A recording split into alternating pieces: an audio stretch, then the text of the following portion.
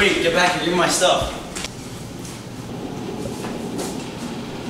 Ah.